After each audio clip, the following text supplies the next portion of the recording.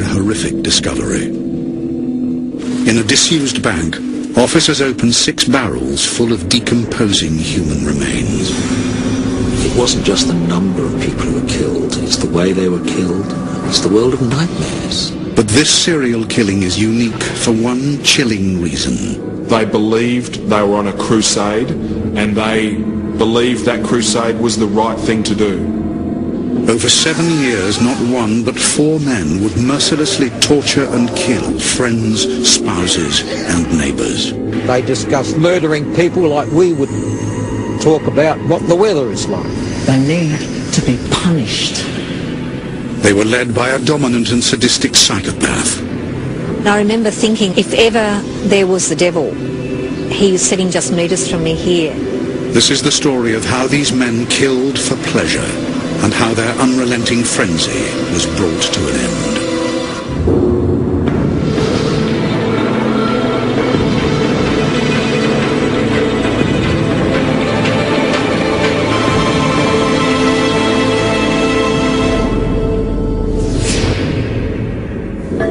Adelaide, the upright and conservative capital of South Australia. With a population of one million, it's known as the City of Churches. But to the north of the city lie many neglected and impoverished suburbs that house much of Adelaide's underclass. In November 1998, married mother of seven, Elizabeth Haydon, disappears from her home in Salisbury North, one of the most deprived areas of the city. Elizabeth Haydon's husband, Mark, is asked to come to the local police station to give a statement and answer some questions from Detective Greg Stone. Mr. Haydon, what's puzzling me is your wife Elizabeth goes missing. Now, the only reason we know she's missing is because her brother reported her disappearance to us. What I want to know is why you didn't report her missing. Look, a week ago, my mate John Bunting said that my wife Elizabeth made a pass at him and he knocked her back. Yeah, next day, you know, she'd gone. Mark Haydon's statement does not convince investigating officers, and they check out his version of events. John Bunting, a 32-year-old abattoir worker, corroborates Haydon's story. Chief Superintendent Dennis Edmonds remembers why his detectives were so suspicious. Her husband didn't seem to be all that concerned about where she was or where she might have gone. You get a gut feeling that something's not quite right. You're not sure what it is, but it's your job to find out what was going on. Officers are immediately alerted to a second name in Haydon's statement. So she left. Yeah, next day, I went and stayed with my mate Robert Wagner. Robert Wagner, 27 years old and unemployed, is already known to the police. In 1997, his homosexual partner Barry Lane was reported missing. Whilst checking Lane's bank accounts, police come across something suspicious. Jeremy Pudney was a crime reporter working in Adelaide at the time. Police were able to ascertain that Barry Lane, who was missing but not necessarily dead in their eyes, uh, was regularly accessing his bank account, or if not him, someone else was. Police set up a surveillance camera and over the course of the next few months we were able to obtain vision of someone making withdrawals from Barry Lane's bank account. That person wasn't Barry Lane, it was Robert Wagner. Detectives Greg Stone and Steve McCoy urgently review every missing persons case on file and make a startling discovery. At least five of these disappearances were linked. Bunting and Wagner were the common denominators. Police can now closely connect three men to an astonishing list of missing persons in and around the north of Adelaide. Mark Haydon's wife Elizabeth, missing. Robert Wagner's former partner Barry Lane, missing. Clinton Trezise, also a former partner of Barry Lane, missing. And John Bunting's near neighbours, Suzanne Allen and Ray Davies, missing. As more and more missing persons cases were linked together, police started to apply significant amounts of pressure uh, to the group. They were under surveillance They are very much under the police microscope, very much. We felt that we had enough information to go before a judge of the Supreme Court to apply for um, telephone interception. I got my eye on that one around the corner. He's just about due a visit, I. Yeah, mate. Yeah, he's due a visit. Debbie Marshall is a crime reporter who listened to the suspect's use of coded language. They're picking up these phone taps and they're hearing Bunting and Wagner use the most strange terms, things like they need to go to the clinic, they need to be made good, it's time to play. As officers monitor the suspect's calls, other members of the 20-strong team hunt down an important piece of evidence in the case of Elizabeth Haydon. We were looking for a Land Cruiser four-wheel drive that she owned, and that car had gone missing. On the 18th of May, investigators follow Bunting and Wagner as they drive 100 miles north of Adelaide to a remote settlement called Snowtown.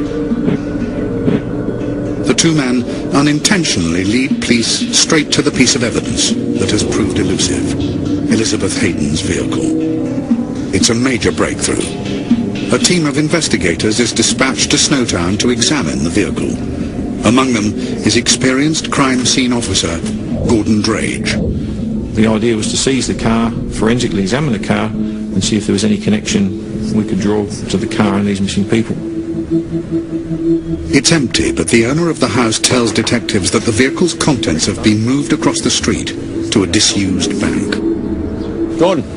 One of the detectives called me aside and said, you're not going to believe this. He said, but we've got to go across to the old state bank.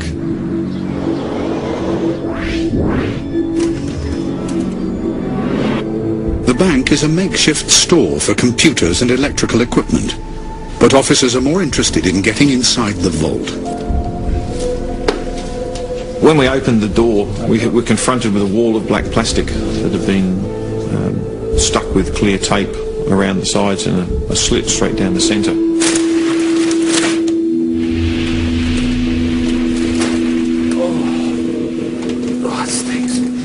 Once we got in, the smell then was just overpowering. Um, we were dealing with some something dead. We've got six barrels in here, a few knives. I think that looks like a saw over here.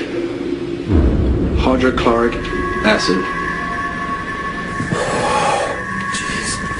There was that moment of, I've got to look, but I don't want to look.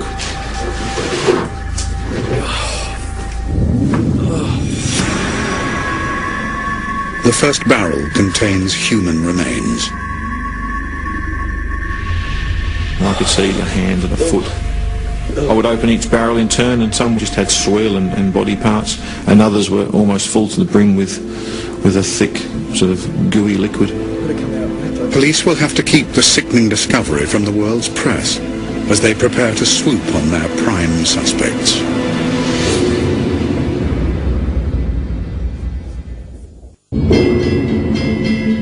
The Major Crime Unit of South Australia Police is investigating the disappearance of five missing persons in Adelaide. Following a trail of evidence over five months, officers have entered a disused bank vault to discover six barrels full of decomposing human remains. The bank is immediately declared a major crime scene. Chief Superintendent Dennis Edmonds has arrived in Snowtown. We took uh, a team of detectives and forensic investigators um, uh, up to Snowtown, set up a command base uh, at the police station. It is now a race against time. Investigators have to make sure the press don't get wind of the story. The last thing we wanted was the media to run a story that we were investigating something at Snowtown which would tip off these guys before we had a chance to, to grab them. On the 21st of May 1999, the police move on their three prime suspects who have been under surveillance in five missing persons cases. In a dawn raid, officers arrest 32-year-old former abattoir worker John Bunting at his home. 27-year-old unemployed man Robert Wagner is also arrested. 41-year-old Mark Haydon is the third suspect arrested. It was his wife Elizabeth's disappearance five months previously, which triggered the whole investigation. Police have also established that the disused bank is leased in Haydon's name. Whilst in custody, the men remain tight-lipped. Tonight, horrific details emerge of a massacre in the state's mid-north. Australia wakes up to breaking news of the sickening find in Snowtown. Came into the building, this door was closed, and uh, they just opened the door. This morning, the doors were open to the media. Cameras quickly focused on the bank's vault, where six large barrels containing decomposed human remains were discovered by major crime investigators on Thursday night. I've been a crime reporter for some time, but just like the police and Australian society, the Australian public, we were confronted by what people were capable of. Later that evening, news crews are desperate to get a glimpse of the three accused. The charge sheet alleges that the men murdered an unknown person. That's understood to be a holding charge while investigations continue. As Bunting walked from the dock to the holding cells, a large smile crossed his face.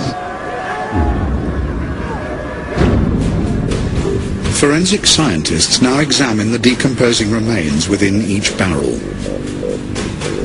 With some of the remains soaked in acid, identification could be difficult and hazardous. But remarkably, this crude attempt to destroy evidence could assist the investigation. According to forensic anthropologist Maciej Henneberg. These bodies were put into hydrochloric acid. Hydrochloric acid, besides dissolving the mineral from the bone, does preserve, does not dissolve them. So they actually preserve those bodies for us to study. As they decant and piece together the dismembered body parts, scientists quickly establish that the six barrels contain the remains of eight bodies.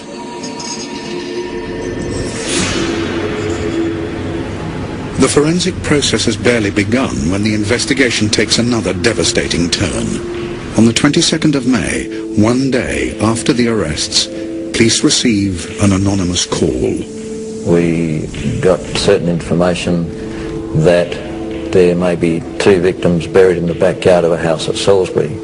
That house had previously been rented by John Bunting. Two bodies are discovered, bringing the victim count to ten. Police are no clearer of their motive, as the three men in custody are saying nothing. The police are under pressure to provide answers. They focus their attention on a 19-year-old man called James Vlassakis. He is the son of John Bunting's partner and lived at the same address at Waterloo Corner Road. Vlassakis' behaviour combined with things people around him said to police basically led police to the conclusion that he had some sort of involvement. Taken into custody, Vlassakis talks, but he is terrified. I haven't told anyone this because I didn't want to get killed. Vlassakis tells about how Bunting had bragged about killing a young man in the early 90s. Mike, just go in the lounge room, sit down. Can I put the TV on? Yeah, sure, mate. Be my guest. But Vlassakis cannot provide a name for what police believe is Bunting's first victim. John Bunting started off as any one-off killer might do, but he basically loaded the remains into a car, drove out to a paddock in the middle of nowhere and dumped them. Matching crucial details of the killing against post-mortem reports on remains found on a farm near Lower Light in 1996, three years earlier, police identify the victim as a 22-year-old drifter, Clinton Trezise. Clinton Trezise was a disillusioned young man. He had very few friends, if any. He had irregular contact with his family and was a very lonely young man. And it made him the perfect target for John Bunting. For police, it's crucial evidence but they also begin to piece together a dark world on the margins of respectable Adelaide. Jamie Vlassakis had been sexually abused throughout his childhood by his half-brother Troy and by a neighbour Geoffrey Payne. When Vlassakis was 14, John Bunting began a relationship with his mother, Elizabeth. Whilst in custody, Vlassakis is assessed by psychiatrist Paul Mullen. Bunting began a relationship uh, with Vlassakis' mother, and he really moved into the role for this young adolescent uh, of a father, a father uh, that he had never known. The young Vlassakis became enthralled. Through Vlassakis, investigators gain their first insight into the character of John Bunting and how he boasted of his violent acts, including murder. John told me parts of what they did. I believe that if I told someone, John would kill me. Someone who knew Bunting well is Vlassakis' stepfather, Marcus Johnson. He was the most unusual man I'd ever met. He was very intelligent and he had a tremendous manipulative ability. In the home he shared with his partner, Elizabeth Harvey, at 203 Waterloo Corner Road, Bunting would hold court with his inner circle of Robert Wagner, Mark Haydon, and Jamie Vlassakis. Hookers and pedophiles. They are on every single street corner. The place is crawling with them everywhere. He didn't drink very much. He had the wherewithal, however, to get people to sit around him and to listen to his every word. He was described, uh, Vlassakis, as charismatic, as just someone who evoked admiration. Hey, should have seen this fag on Dashed in Queensland, eh? Oh, mate. I say, hey, mate, you'd be a faggot, wouldn't you? Just like that, right? So he goes to me, flinch, too late, sunshine. Bang! mate, you should have seen him, mate. He, he just dropped like a sack of spuds. Like a teeth. But I knocked his teeth out, mate. Right, Yeah, but he deserved it, eh? Oh, yeah. Yeah, he deserved it. Yeah. Of course he deserved it. Yeah. They all deserve it. Yeah. Yeah. right. He was frightening, he was intimidating. People were either with him or against him, and if they were against him, they were frightened for their lives. Vlassakis reveals to investigators that five years after Bunting committed his first killing in 1992, he was ready to kill again, and this time he had a willing partner in crime. Robert Wagner is not a very articulate, not a very uh, strong, forceful personality, yet he had a very dark side to him. Both men moved on their next target, 26-year-old Ray Davies, a disturbed and intellectually impaired man and a near neighbour of Bunting.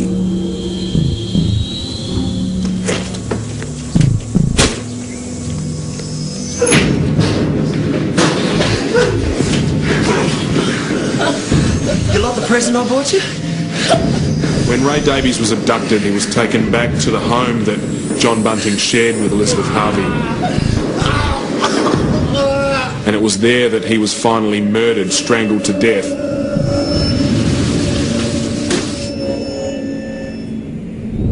The body of Ray Davies is dumped in a hole in Bunting's backyard and is later excavated by police. A female victim buried alongside him is Suzanne Allen, a former fiancée of Davies.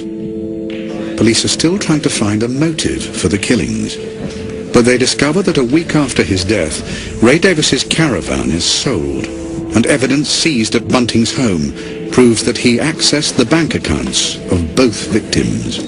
They would often demand from victims their personal security numbers and access their bank accounts and so conceal the crime afterwards so he could keep killing and he could keep hunting within his own circle. Almost a year after the killing of Ray Davies, Bunting and Wagner choose their next victim from their neighbourhood, 19-year-old Michael Gardiner. Police speak to mother of two, Nicole Zarita, a close friend of Gardiner. The last time I saw Michael, um, I was heading to New South Wales for a um, short holiday, and he was going to stay in my house until I got back. When I came home, um, Michael was gone, and, and so were my belongings.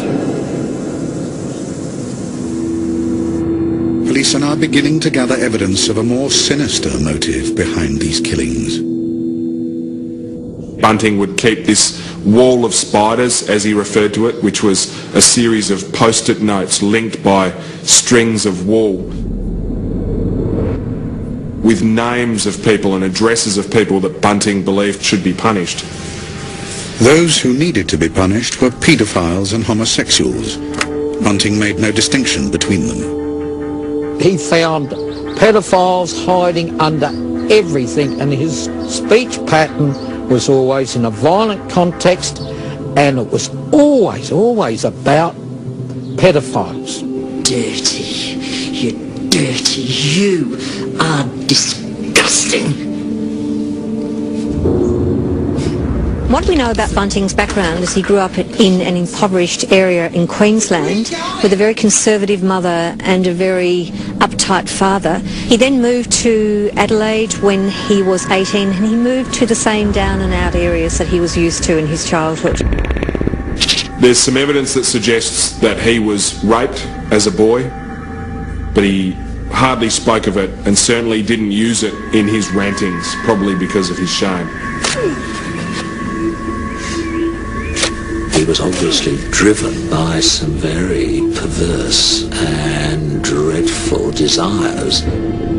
Investigators know that Bunting influenced Robert Wagner, but firm evidence is needed to establish the extent of Wagner's involvement. Dr. Jack White worked with Wagner whilst he was in custody.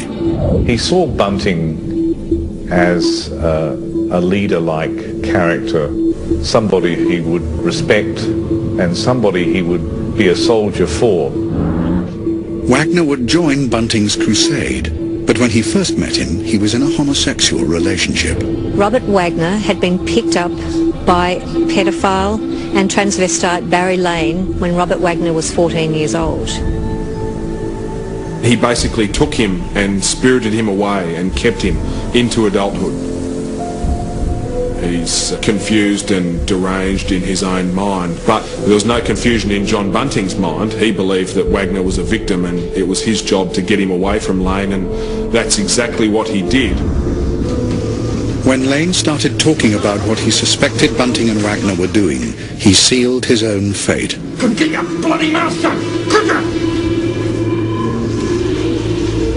Robert Wagner loved the thrill of the torture, but he was also the one who was strong enough to come up behind the victim and put his massive arms around the victim's neck and start to strangle him just enough. they often brought their victims back, just at the point of unconsciousness. For John Bunting to move in and look into their eyes, which is what he loved to do most, and impose his power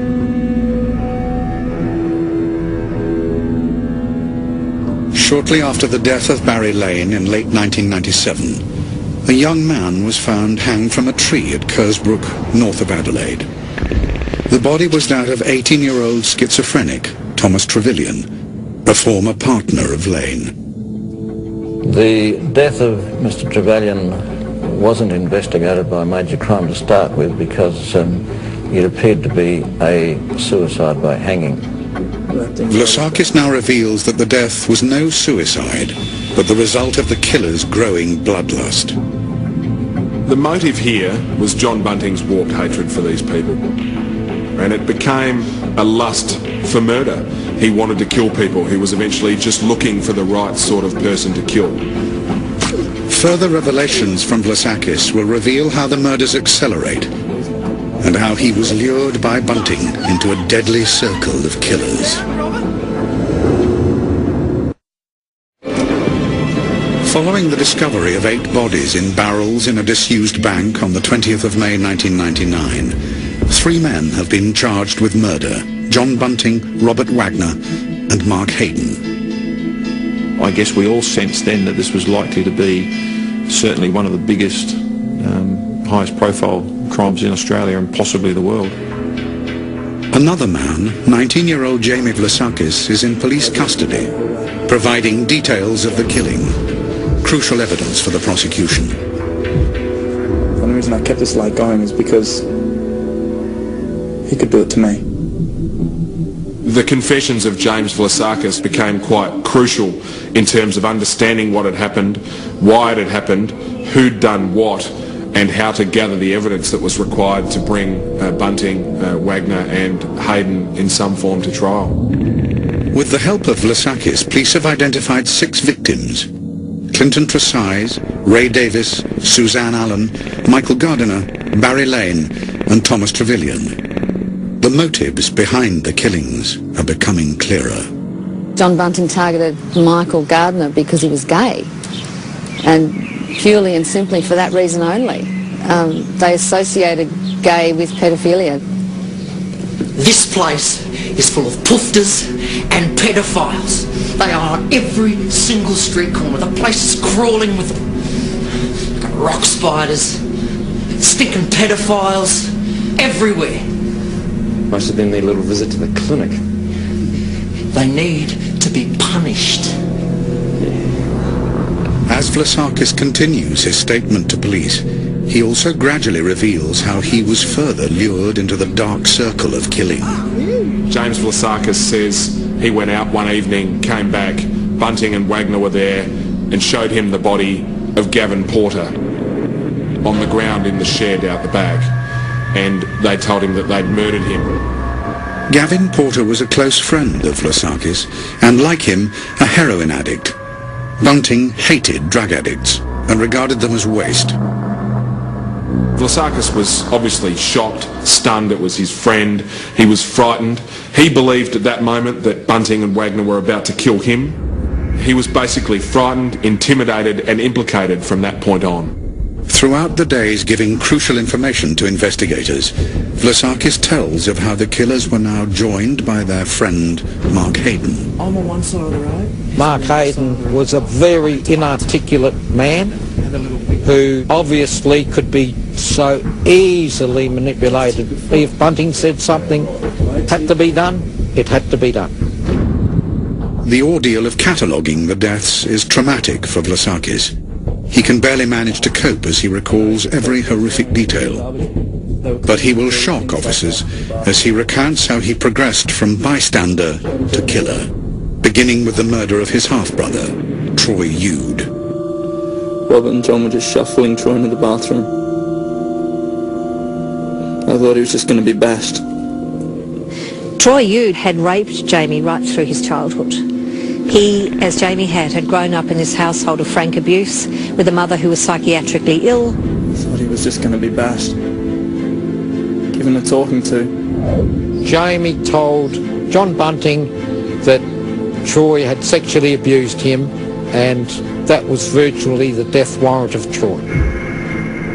What are you doing? They took him into the bathroom and they started yelling and screaming. What's happening? Calling him a faggot and a baby rapist and things like that. Troy Youde endured shocking forms of torture for a substantial period of time before he died, and James Vlassakis stood there over him while this happened. And in fact, Troy Youde, his brother, is appealing to him as he's being tortured and killed. What's going on? Why are they doing this to me? He was losing consciousness. John turned around to Troy and he said, This was fun. I could do this all day. I remember walking down the hallway again. I couldn't handle it. I said to him that I enjoyed it. I didn't.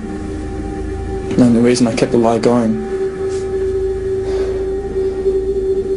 didn't want John to kill me. He was shattered mentally, a mess.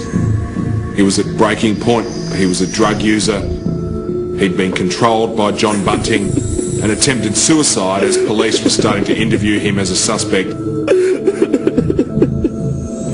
He was just a broken person who didn't have the ability to stop what was going on, didn't have the courage to stop what was going on, and ultimately believed that he was about to be a victim at any moment. The killings have accelerated, with the last five murders carried out between November 1997 and September 1998. The killer's frenzied desire for death only increases. They actually sat round tables and talked about murdering people like we would talk about what the weather is like. I got my eye on that one around the corner. He's just about due a visit, I reckon. The next killings of Fred Brooks, a mentally handicapped young man, and Gary O'Dwyer, a local disabled man, followed within six weeks and are notable for their prolonged torture.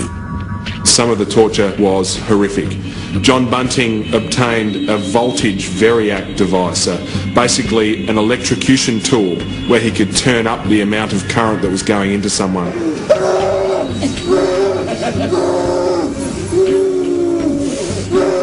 With the victim count increasing, their remains were stored in barrels, the very act of which, for psychologists involved in the case, provides a disturbing insight to the mind of John Bunting. I think with Bunting there's clearly a, a, fascination uh, with dead bodies. He retains these bodies not simply to prevent them being found, because anything's going to risk them being found, it's retaining them, uh, but because of his need to keep control even over the dead bodies and to still keep them available to serve his fascination. Mark Haydon has remained silent during his time in custody. His wife Elizabeth's disappearance in November 1998 triggered the whole investigation. But through Vlassakis, police discover that the barrels were stored in Haydon's garage. And they also discover how Haydon made the mistake of telling his wife Elizabeth too much. Her husband was storing bodies in barrels in the shed in their backyard. John Bunting was looking for people to kill by now. There's no doubt that Elizabeth Haydon knew some of what had happened, if not all of what had happened, and that was enough to mean that she would be targeted next. Leave me alone! Please,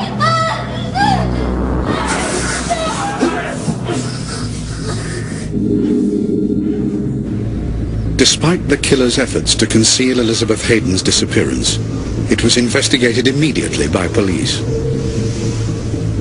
Elizabeth Haydon was really the turning point in terms of the investigation and the intensity of the pressure on this group of killers. For the first time, the three men would come under close scrutiny. Take the truck up, mate. It caused John Bunting to panic a little bit. The bodies in barrels that he'd been storing in Mark Haydon's garage, he hastily moved. All of this created a trail. The barrels were eventually moved to a disused bank two hours north of Adelaide in Snowtown. Despite an increasing and uncomfortable police presence around the suspects, the killings did not stop. Bunting towards the end of the killing was getting more and more of a high just through the pleasure of, of killing someone and the power it gave him. Vlassakis tells how Bunting asked him to lure a young man to Snowtown. That young man, neither homosexual or a paedophile, is Vlassakis' stepbrother, 24-year-old David Johnson, Marcus Johnson's son. David was a very good young man who had never been in trouble with the police. He was clean cut. He was well dressed and well behaved and everything he did. And he did not deserve anything like he got. He was lured to his death by Jamie Vlassakis at John Bunting's insistence. And we have tapes which were played to the court and it's spine-chilling to hear them. Bunting waiting in the vault at Snowtown as Jamie Vlassakis brings his prey along that lonely road. Bunting's on the phone to Vlassakis saying, this is the voice of happiness. And Vlassakis saying, ha ha, we're on our way.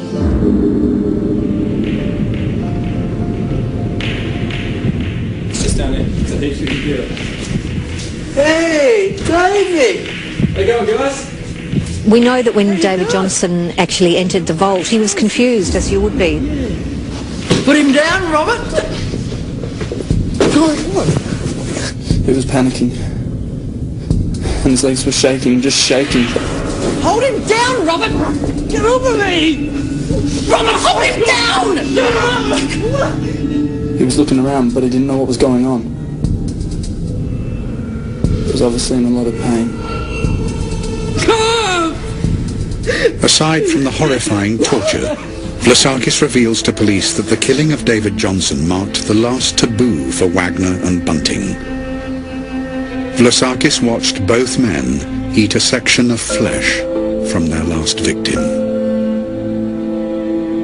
There had been some cannibalism. These people I knew, and I actually sat down and ate with them. And to think they've eaten my son, that's an indescribable feeling. So he had rituals. I mean, the most extreme ritual uh, was the eating together of the flesh of the victim. And they were now tied together by mutual guilt and at one, at one with each other.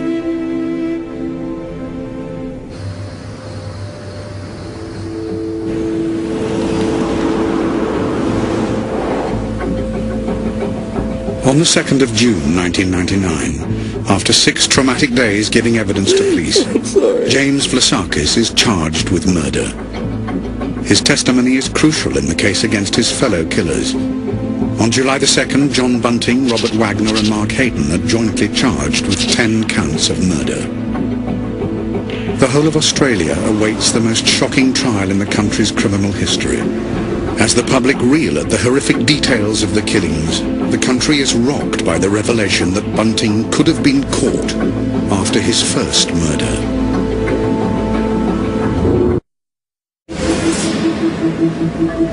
Four men are awaiting trial for a series of horrific murders in South Australia. All 12 murder victims were known to the four accused, and all lived in the same deprived ghettos of North Adelaide. The Bodies in the Barrels trials begin in 2001. It'll be a massive undertaking. It was complex, it was demanding. It took a big slice out of police officers' uh, careers. On the 21st of June 2001, Jamie Vlassakis appears in court to face four charges of murder. It is his confession to police that forms the basis of the entire prosecution case. It was a secret deal that had been brokered for some weeks and he appeared in court unexpectedly and pleaded guilty to four of the five murders for which he'd been charged. Vlassakis pleads guilty to four charges of murder. For his part in the murders of his half-brother Troy Youde, Fred Brooks, Gary O'Dwyer, and his stepbrother David Johnson, Vlassakis is sentenced to 26 years in prison. Throughout he was horrified by the killing, but he was caught up in Bunting's world. It took months and months of physical separation before he escaped from that world and woke up one morning to the full horror of what he'd been part of. Vlassakis returns to court to take the stand for 32 days to testify against his co-accused. It helps to have a star witness when you're trying serial killers. And in return for that, he gets out of jail one day. Mark Haydon pleads not guilty to two counts of murder and five of assisting offenders. He will be tried separately. Mark Haydon was the monosyllabic sidekick who just did what he was told. He had his own trial and he just sat staring at the floor. The murder charges against Haydon are dropped, but he is found guilty on all counts of assisting offenders. He is dismissed by the judge as a passive manservant and sentenced to 25 years in prison. In October 2002, the trial of Robert Wagner and John Bunting begins. Robert Wagner, charged with 11 counts of murder, pleads guilty to three and not guilty to the remaining charges. John Bunting pleads not guilty to 12 counts of murder. They say they were killing pedophiles, people who would harm children, when in actual fact most of their victims were simply people who weren't as privileged as others or whose lives had in some way gone off the rails. The world hears the full appalling detail of each killing. The prosecution plays to the jury recordings made by the killers during their torture sessions. It proves traumatic for all those who attend. I was haunted by the, voices of the victims screaming for mercy and receiving none. And it played over and over in my mind. I had nightmares, and I know a lot of people did. Marcus Johnson has to endure listening to the recordings of his son David being tortured. It was a very, very, very emotionally strange, indescribable time to have to to sit there and know that he was under such terrible stress and strain that no human being should go through. Despite the prosecution revealing the victim's suffering, there is no emotion from the accused. I've watched John Bunting and Robert Wagner in the dock, and I haven't seen one glimmer of remorse in either of them. In September 2003, the verdicts are announced. Robert Wagner is found guilty of 10 murders. He will spend the rest of his life behind bars for his compulsive desire to kill. I think it was almost like a drug, and uh, he longed to get that feeling, uh, and I think that's what perhaps uh, kept the killing going. John Bunting is found guilty of 11 murders. The jury fails to reach a verdict on the cause of death of one of the victims, Suzanne Allen. Along with Wagner, he will never be released from prison. I have never, ever in my career as a crime writer come across the likes of Robert Wagner and John Bunting. I sat just metres from them in court watching, particularly John Bunting, smirking, loving it. And I remember thinking at one point, if ever there was the devil, he was sitting just metres from me here.